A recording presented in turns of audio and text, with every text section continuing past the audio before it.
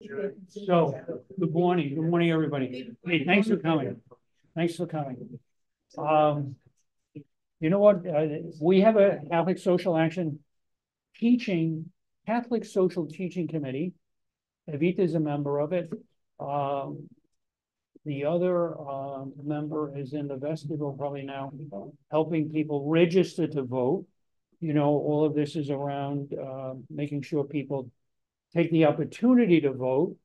And, uh, you know, ironically, even Pope Francis said that recently as well. Um, but anyway, I wanted to kind of broaden the opportunity to give you an idea of what the Catholic Church in Brooklyn and Queens is doing.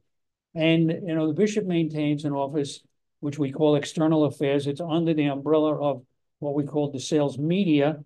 DeSales Media is kind of a uh, an arm of the Diocese of Brooklyn and Queens. And uh, so we, we wanted to invite somebody from that office, and Matthew was good enough to come. And he's going to give us an idea of how, as a Catholic church, we carry on our mission in a world that is a public and common world, but nevertheless that necessitates our working with elected officials, you know. So there's a lot of different things that uh, Matthew and his his boss um, Vinny and um, another assistant right in the office.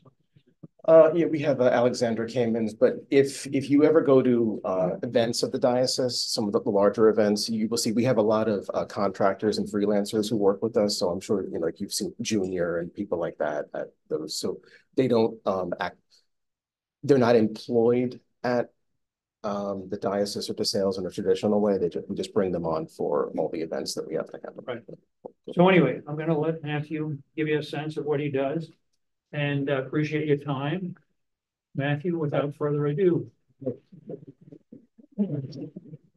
Thank you, Bishop Sanchez. Um, so like, like he was just saying, um, I work as the uh, Deputy Director of External Affairs, and that falls under the Diocese of Brooklyn and DeSales Media Group. So DeSales Media Group, for those who don't know, um, is probably most famous for the tablet newspaper, and we have uh, Currents News, so on with uh, Net, Net TV. So those are, you know, like, oh, that company. Um, but we also, if anyone has uh, people in uh, uh, in the uh, uh, Catholic school system in Brooklyn and Queens, CTN, Catholic Telemedia Network, is housed out of there. Um, but a lot of the other things that we do uh, are external affairs, which is myself and my boss Vincent and some other people. We, the press office. So if you see any people responding to reporters, that that that's all housed there. So we do it's communications, technology, events, that, that's what we do. But I, I do need to point out that um, I started um, with the diocese. This is not going down. It should just go. So I started with the diocese back in 2012, and one of the things that I was doing back then was uh, voter registration drives at uh, uh, churches in Brooklyn and Queens, mostly Brooklyn. And um, so as as uh, Bishop Sanchez said, it, it, that's going on right now. But a couple things that I used to say back then that I didn't think to put in the presentation, but now that we're talking about it. So you do need to register, um, even if you've just moved. If you were registered at your old address, you need to update that. It's it's the same form, and that's something that a, a lot of people don't realize. So back when I was doing this in 2012, uh, we'd go to all these different um, churches. We'd we'd have somebody uh, speak at the pulpit. I'd, I'd be at the back helping people, you know, with the forms and whatnot. But you know, you would cer certain places you'd have two or three people fill out the form. Other areas, um, I know there was one um, one parish in Greenpoint, right, with 35 people. There's a lot of uh, uh, immigrants who have become citizens it was, it was just their, their time to, uh, to fill that out. So do we know what's going on? No. So just so you know, uh, got here about uh 40, 40 minutes ago, and everything was going completely uh fine with this. And then Lewis here had uh tested all these other things out uh a couple times this week, but then there were issues with this screen not being connected. So so uh of course uh we have that. But um I I can just uh talk over it. So with with this uh, particular yeah uh slide, I said, uh, my boss, as uh, Bishop Sanchez uh, mentioned, Vincent LeVien, and he was originally going to do this presentation, but had a realized he had a family obligation and a conflict. So external affairs, um, we are registered lobbyists for the diocese at the city, state, and federal levels. And that's necessary so that whenever um, whenever an organization meets with an elected official, you have to have a lobbyist present because it has to be recorded in such a way for, um, you know, just transparency, uh, mostly on the side of the elected official, but you know, th th that's how people get in trouble. And I actually have a lobbying training uh, Tuesday for this week. So something that we have to do all the time. Uh, so external affairs includes government affairs and public affairs. So public affairs, you know, government affairs, you know, it's sort of obvious. Public affairs is more um, you know, it, it can include uh, corporate, just interactions with the with the public in general. So corporate or uh, local organizations, that sort of thing, and then uh, event planning and logistics. So uh, more and more over the years, uh, we've been at this, like I said, since 2012, um, and with Bishop Brennan doing more and more events compared with Bishop DiMarzio, uh, we wind up having to uh, handle uh, events for the diocese more and more and more and more. It used, it used to be maybe four or five a year, and some of the bigger things like the ordinations. Like I think my the first the first uh, ordination I actually handled was uh, somebody over there uh, back in 2012. Uh, yes. Uh, so, uh, yeah, so that's why it's just, it, it's fitting that I'm here for this. So, um, but then also I have a, uh, just me personally, I also work, uh, for, with the Cathedral Club of Brooklyn. So, um, if you've ever been to any of those, it's the official uh, lay, uh, organization for the diocese. So if you ever at one of those events, I'm the guy they all thank when they, uh, when they do their speeches. So, and then just the other, uh, part of the role is law enforcement and emergency response. So when you do all of these uh, events, you have to let the NYPD know what's going on. And uh, if there are, you know, international uh, implications, it also involves Secret Service. Um, but we've also had people from the NYPD and the FBI speak at pastors' meetings. Uh, so that that's it's all of those things. And, and that's one of the reasons why Bishop Sanchez wanted to make sure that went over the, those, because if you hear external affairs, people, what's that? So that's what it can it's not going. Okay. All right. So some of the projects, just to be more specific, that we've worked on um, uh, for Vatican related. So the 2015 visit of Pope Francis.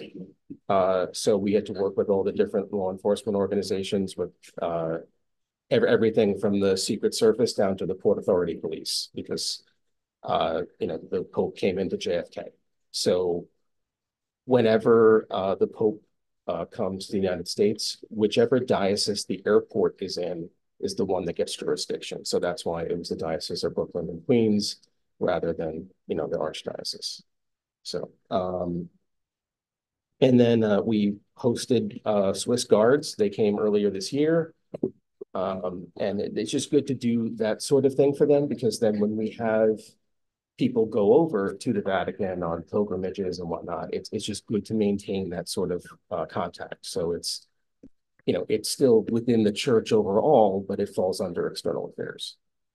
And then uh, uh Blessed Carlo Acutis, um, you know, soon to be saint, um, when his relic uh, has has come to, to the United States to, to tour.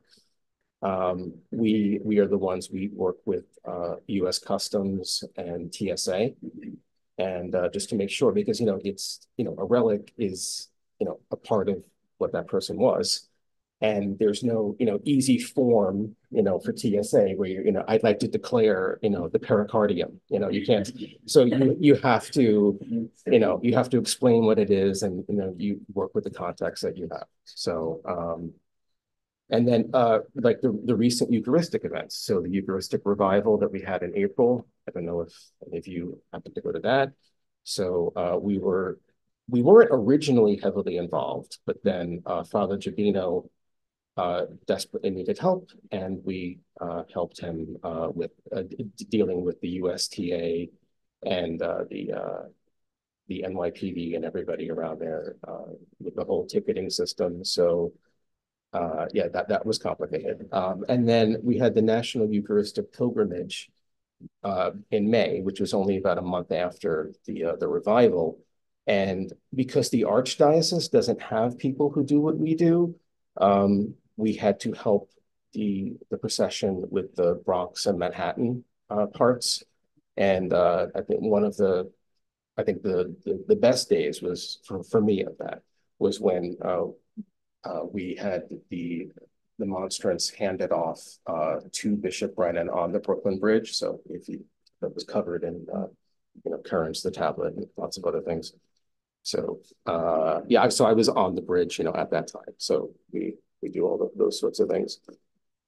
So, uh, and then actually we, we do, uh, the Eucharistic procession at St. Patrick's Cathedral. There's one every October, um, and the one in Manhattan, uh, because, uh, again, they don't have, for whatever reason, the Archdiocese doesn't have people who do what we do. And then uh, emergency response. So I, I was the disaster relief facilitator for the diocese after Hurricane Sandy. Um, so that involved visiting a lot of damaged schools and parishes. And uh, I was brought on for that because the year before with Hurricane Irene, the diocese got nothing from that. So they wanted to try something different and have somebody be responsible for liaising with FEMA. And uh, well, let's just say they got more than nothing uh, for that. So that that that helped a lot. That's what I was told. So.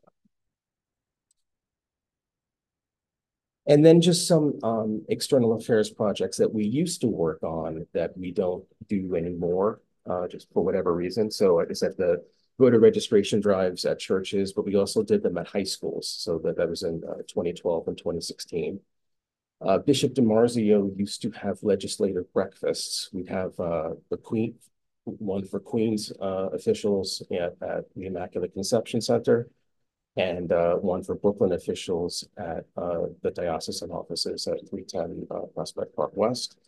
And the elected officials, they liked doing that. And you had, you know, it wasn't just the Catholic ones. A lot of them would come uh, just because it it was and it was the only opportunity that they would have on a regular basis where you would get people from not just both parties but different levels of government all sitting together so you'd have people from the House of Representatives, you'd have state senators, you'd have city council members, um, and they would all just be sitting and talking and, you know, having something slightly more robust than uh, the cookies.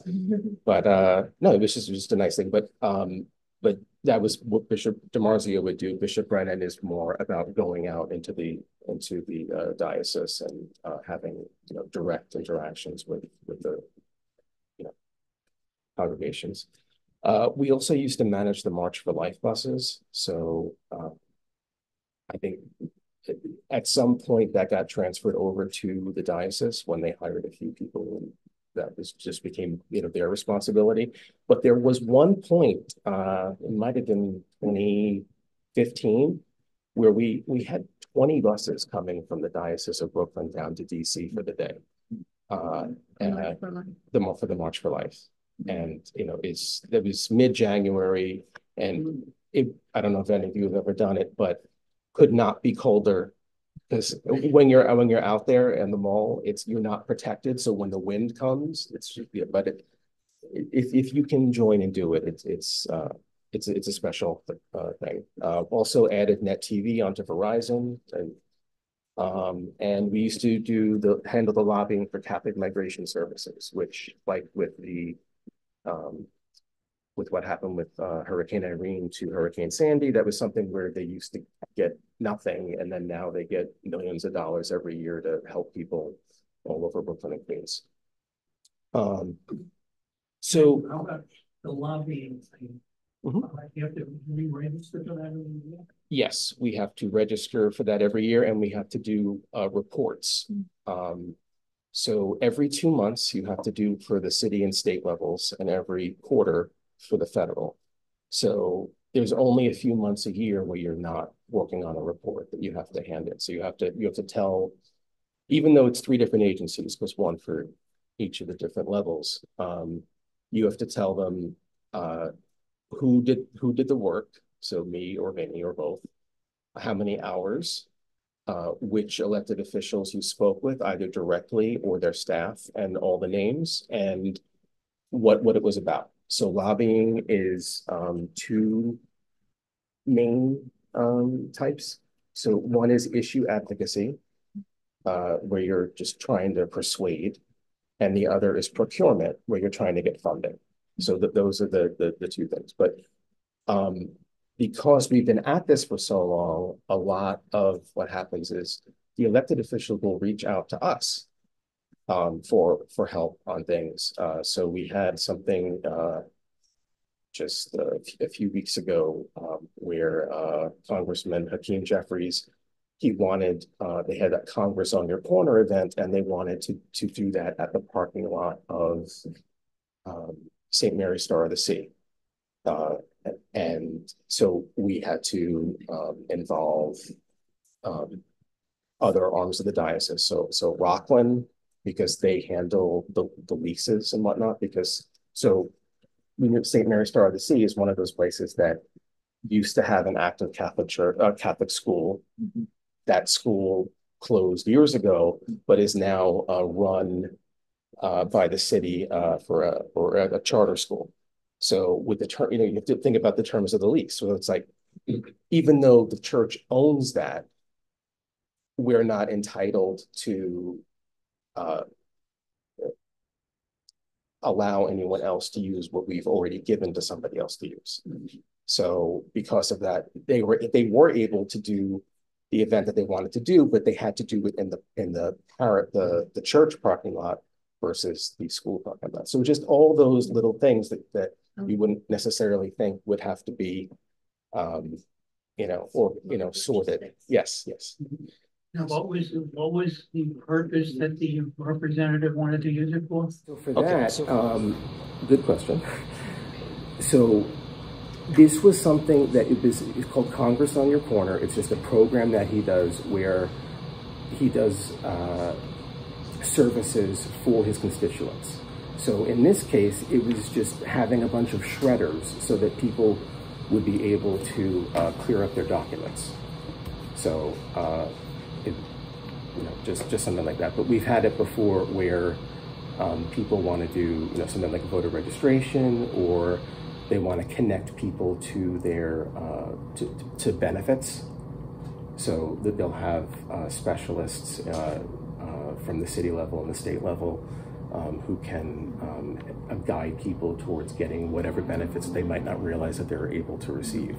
And just uh, why that's a good question is that's distinguishing constituent services, which is what someone who's already elected uh, will want to do, versus a campaign, where someone who's in office, like like Hakeem Jeffries, um, you know, that he's a member of Congress, so they have to they have to campaign every, every two years we don't get involved in the campaign aspect of it because that uh, it, it's a, a thorny uh, area because uh, you don't want to risk uh, tax exempt status. And also it if if the church or you know this church or any uh, starts doing something like that then you you change the nature of what the church is supposed to be in the community. So uh, so we, we were, we're very careful on that. So one way to do to interact with campaigns though is um, when somebody wants, when, when um, multiple candidates for the same office, like let's say in a primary, want to address uh, people like something like this. that you can do as long as long as you're inviting all of them to do it. Uh, similarly, if if it's if it's a general election and there's two main candidates, it's fine to allow one to speak, but you have to extend the invitation to the other, and You it has always be neutral. right, and you and it has to be the same sort of opportunity. So they don't have to they don't have to speak at you know exactly the same time or at exactly the same event. But if you're inviting one on the same weekend where you have some sort of parish festival and you're going to see hundreds and hundreds of people, and then the next week it's just a regular Sunday mass, that's not equal or equitable, and it, it can get you uh, in trouble because it's a favoritism. Can I ask a question? Yeah. Um, I understand, obviously, about the church not endorsing candidates, but is there a difference when you, when it comes to what's happening this election with this proposition that people are not really aware of what the implications are and how we could somehow get that word out or?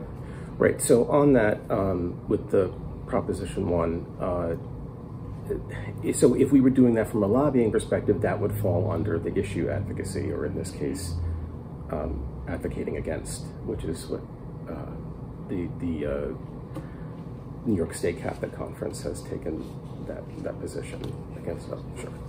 We're gonna just try to get this in again.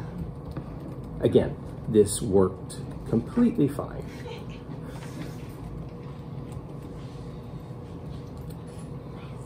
So we started. Oh, that's what he just did, yes.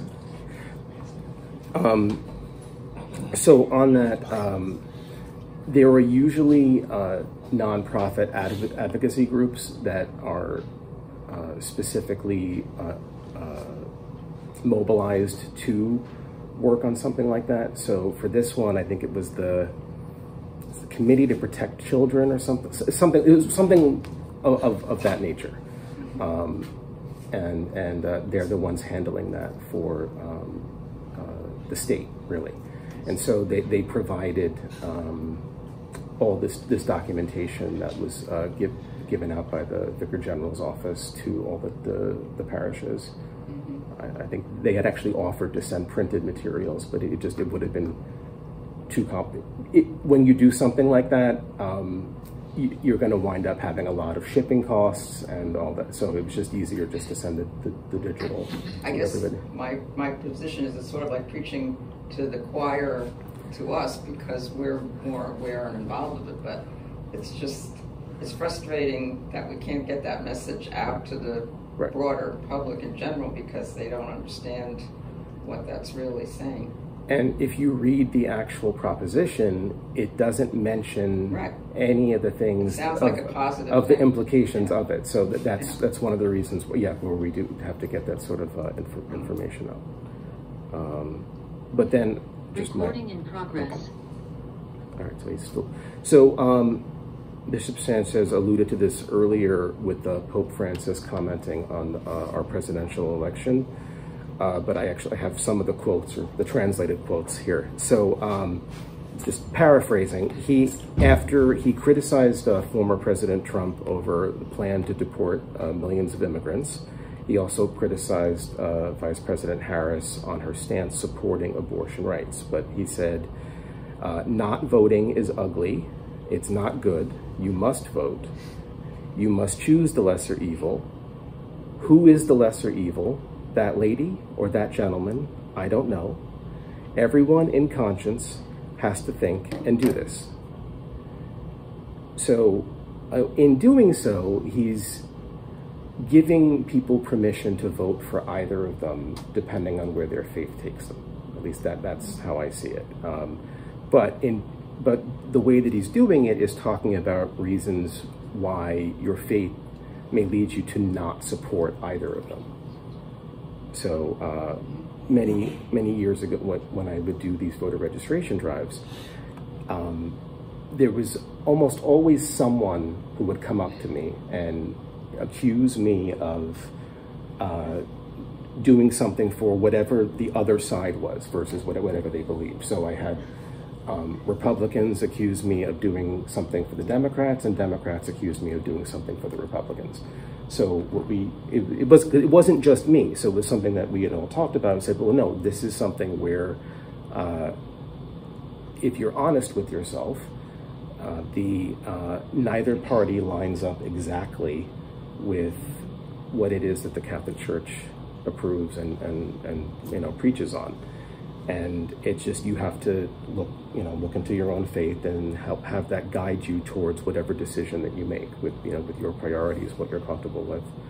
Um, and and because it doesn't line up perfectly with either side uh, that that helps you to be both um, not I guess it, it if if if there was one party that lined up completely with Catholic Church teachings, it would make it easier, you know, uh, at, at when it comes time to decide who to vote for.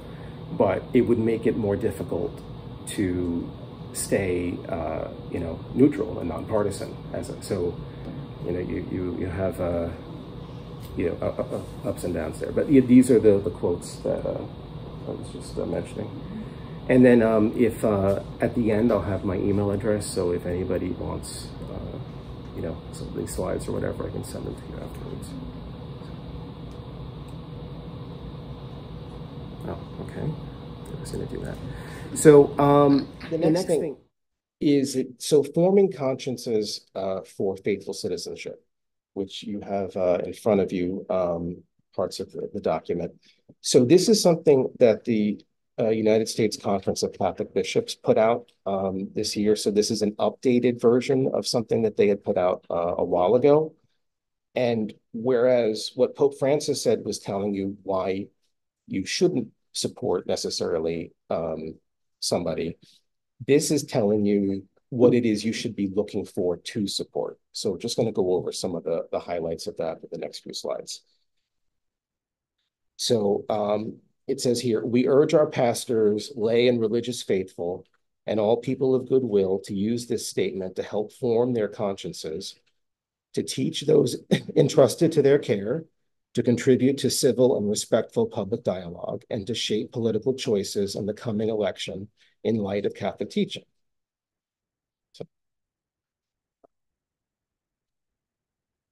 Um,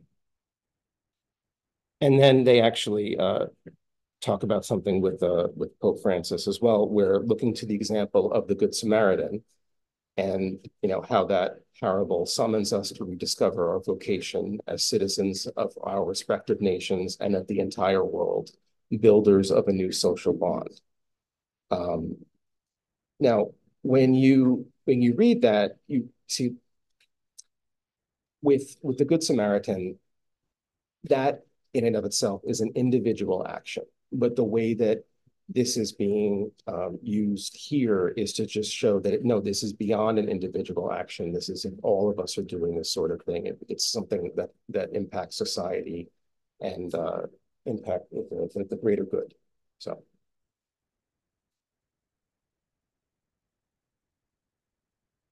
So the role of the church in American political life. Um, so on this, you see, it's, you know, the church is the body of Christ who reigns as king over all creation.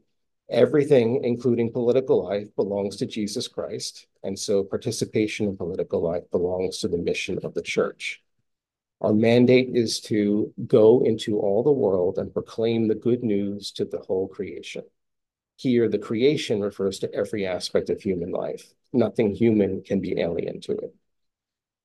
So um, you know, if you're wondering, you know, how does having how do we reconcile something like uh, the church is everything in creation and to have you know a, a separation of church and state as has been the tradition in this country? It's a well that tradition is a top down tradition. It doesn't it doesn't mean that you know the the people can't push for what they what they believe to be you know true and good and you know it's issue advocacy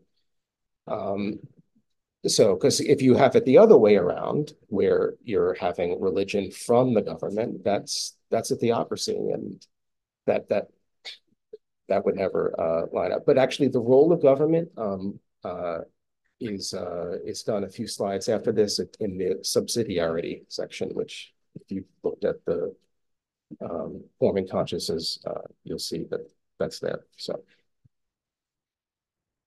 and yes, I had to practice saying that multiple times because it's not a word you use every day. So, um, so yeah, so in this document, it's got uh, four principles, um, and they preface it by saying it's not to tell the faithful for whom or against whom to vote, but instead to help them form their consciences uh, in accordance with God's truth as they approach this often challenging decision, which is very similar to what we came up with many years ago with the vote your faith. Um, but the four main principles are the, the dignity of the human person, the common good, solidarity, and subsidiarity.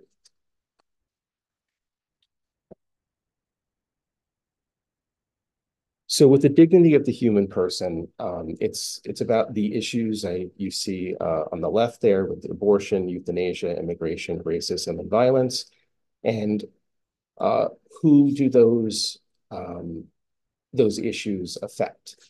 So with abortion, it's children in the womb, but also the mothers. With euthanasia, elderly, ill, disabled, immigration, migrants and refugees, racism, something that has to be, you know, overcome and protecting people against, violence, criminal justice reform, and reducing gun violence in, in general. So with that, it's it's not saying, you know, it's it's nothing specific as, you know, you know, like a like a gun ban, but it's just it's reducing gun violence in general. So it's just something, it, these are just all uh, issues that you're being encouraged to consider when you're deciding who to vote for. And again, they don't all line up. Now, the common good, the uh, sum total of societal conditions which allow people, either as groups or as individuals, to reach their fulfillment more fully and more easily. So um, just skip to the uh, third one there. So every being has a right to life, a right to religious freedom, and a right to have access to the to those things required for human decency. So this is the USCCB's version of life, liberty, and the pursuit of happiness, but you know, with a uh, specifically Catholic perspective on there. And uh, uh, the question I had after reading it that way is, what do they mean by human decency? And uh, they do elaborate on that in there, where it's saying you have a you know a right to have a good job and access to health care. So just like the right to help yourself through things um, and not be oppressed that way. Solidarity, a firm and persevering determination to commit oneself to the good of all and of each individual because we are all really responsible for all one human family, whatever our national, racial, ethnic, economic, and ideological differences. And uh, the person is social in nature. We develop and flourish within a community. As baptized members of the community of the church, we are part of one body in Christ, and we are also part of one global human family. like that doesn't need to be explained, I don't think. But then uh, here is the more complicated one and not just in its pronunciation. So the principle of subsidiarity reminds us that larger institutions in society, such as the state or federal government, should not overwhelm or interfere with smaller or local institutions, such as the family, local schools, or the church community. So again, like how I said earlier with the whole, I'm not sure what this is with the uh, top-down uh, part, um, where you know you don't basically you you do you don't want an oppressive government, but larger institutions do have essential responsibilities when local institutions cannot adequately protect human dignity, meet human needs, meet human needs, excuse me, or advance the common good. So it's this is one of those things where it, everything's in a balance. So it's not saying that you know all government is bad, but you just have to be careful of you know uh, oppressive, intrusive uh, government. Uh, as this reflects the essential freedom and the innate human dignity of each person, while also recognizing the role higher authorities such as government can play to ensure that all people are able to thrive. So, you know, with government, you know, we do have police that can help protect people, but you know, at the the larger part, we have, you know, the the army that protects us on on that on that uh front. So, you know, th this is I think the more complicated of the, the the the four principles, but they're all interrelated and they all use a lot of the same words, but they don't necessarily stress the same things. So that's just my interpretation of it. If you want a theological one, I think you can you have a few people in here that you can also uh, talk to. Um, and then just uh, overview. So uh, nonpartisan versus bipartisan. So nonpartisan is, you know, in the sense that the church can't always uh, uh, favor one over the other or publicly or even or even privately. But bipartisan is, well, when we do our lobbying for the church, we have to interact with Democrats and Republicans. And depending on where those issues line up, um, is you know who, who, we go to on that and, and who's in in power. So, for example, um, uh, Senator uh, Chuck Schumer, we we have to interact with him a lot on issues of immigration. So we have um, when we have uh, priests and seminarians from other countries who have visa issues, that's who helps. Um, when uh, when when there are uh, issues with uh, like the local community um, where they uh, the city wanted to open um, or was going to allow a, a, marijuana dispensary to open near one of our Catholic schools. Bless you. Uh, we uh, we were working with uh, Councilwoman Vickie Paladino um, out, out in, in Queens. So it it means, you know, when you're doing this and you're doing it the right way, you're going to have people that you know on both sides and th that, you know, can help you. And then you can you can help, like I said, the thing with uh, Congressman Jeffries. And and you're not helping them to gain power, you're helping them to uh, do their uh, constituent services because one thing that every neighborhood has is a church, and they know that when it when it comes to the Catholic Church, uh, we, you know, we have we have a database of, uh, you know, of every church and every school uh, in in the diocese uh, by their addresses, and then we know who represents them at every level. And it's something that we have to update all the time because, you know, people resign, people lose elections. And then when they do redistricting, sometimes those borders change and then and then somebody who was in one group is now in another. So so it is there's there's a lot that we need to um, keep keep in mind there. And uh, on that, just you know, it, you're looking at you know issues versus ideologies. So we we can't do our job if we're bogged down in ideology, but what we have, we do what we have to do, um, you know, if we're focusing on actual issues. Matthew, I got I got approached by a woman who is the owner of a uh, a restaurant one block from the church. And she said, how is it that I had to spend two years getting permission to serve liquor here, a block away from the church?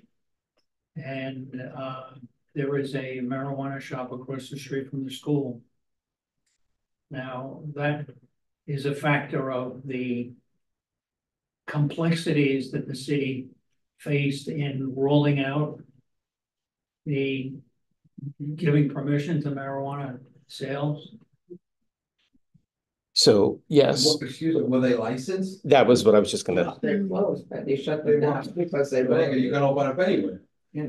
Well, if you're licensed, then you have to be within a certain. no, that's exactly what I was going, was going to say. I don't know the, the number of feet as the minimum distance, but there is, there is one. And I think, you know, just a couple of years ago, we saw all these you know, these uh, obvious dispensaries opening up everywhere across the city. And I was like, wow, this is this is really screwed up. They're letting so many of them open. And then it wasn't until what was it earlier this year where Around the springtime. Yeah. Just clean them all up. and it was just like, oh, okay. And so I noticed, so I, I live in Manhattan. I know some of them just completely gone. Others have like rebranded themselves into little convenience stores.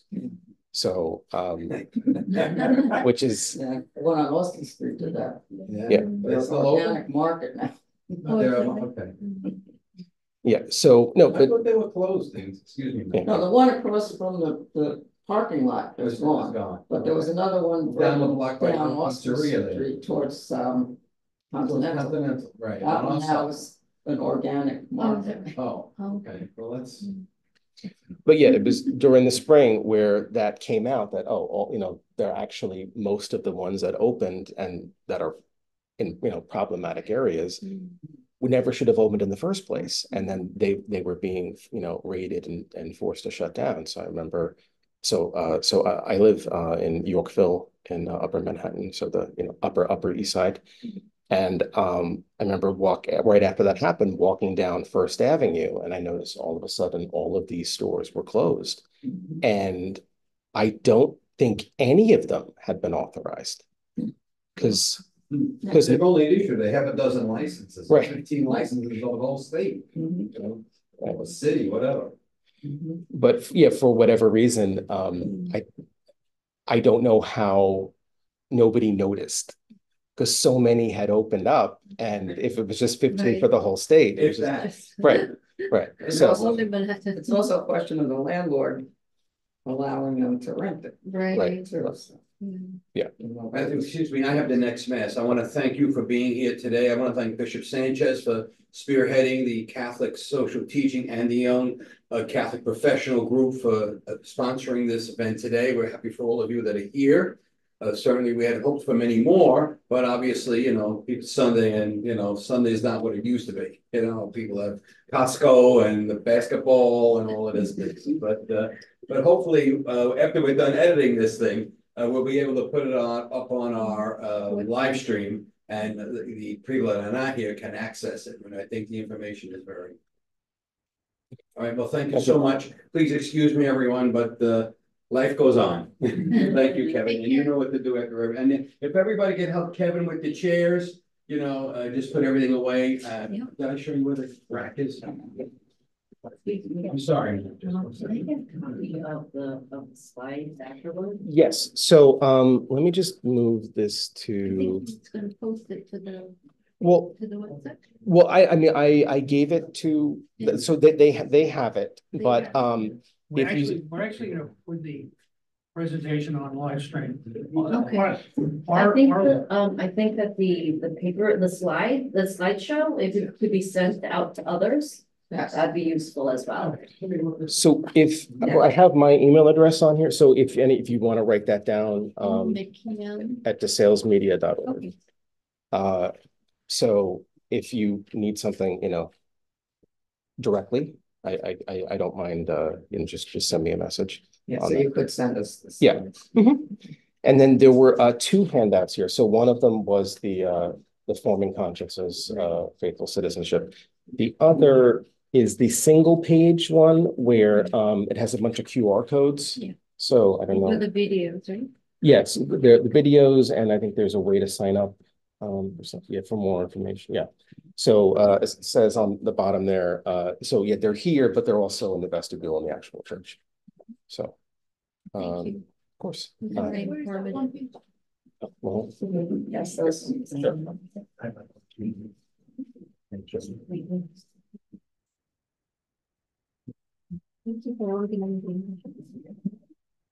So does anyone else have any other questions or? Yes. Well, Matthew, thank you very much. huh? Yes. Thanks for your time. Thanks, everyone. Well, thank you for listening. So.